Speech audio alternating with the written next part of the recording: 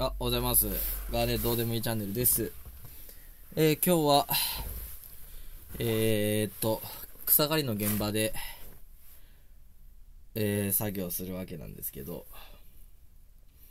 えっと、今時刻が7時24分です。ちょっと早すぎましたね。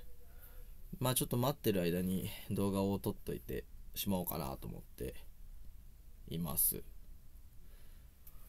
うーん、今日は、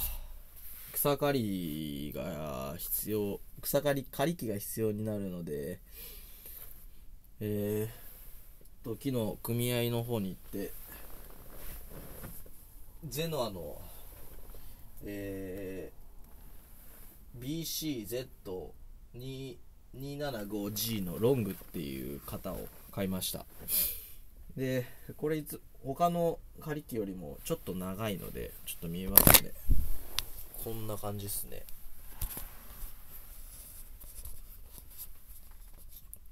これを昨日買ったんですけど。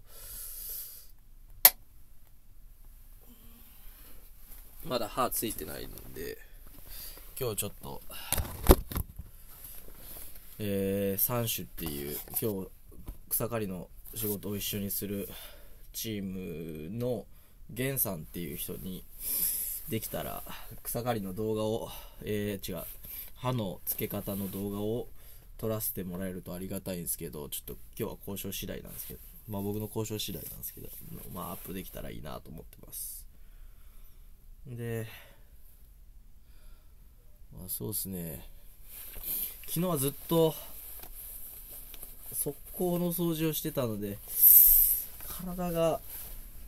かなりしんどくて。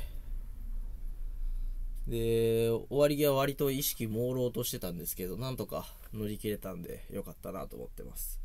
で今日はずっと3日間ぐらい一緒にええっと123日か。3日間ぐらい一緒にししてた杉さんが梅のあまあ杉さんっていう僕よりも20個近く上の先輩がいるんですけど、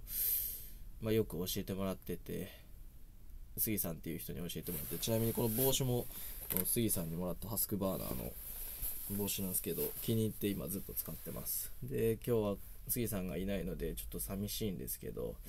久しぶりに西出さんっていう先輩とまたえー、そうですね。西出さんは僕の17 7個ぐらい上なんですけど仕事のできるいい先輩なのでまたいろいろと教えてもらいながら作業しまあ杉さんいないですけどまた西出さんと会えるのではい。楽しく仕事ができるかなと思ってます。でまた三種っていうゲあの草刈りチームの源さんっていう人にも会えるので源さんワールドに染まるなってみんなに言われてるんですけどなかなか 彼の世界観に 世界観は独特なものがあるので染まらないっていうのはなかなか難しいと思うんですけど、まあ、できるだけ自分をしっかりと思って今日は仕事したいなと思ってます。以上です。さよなら。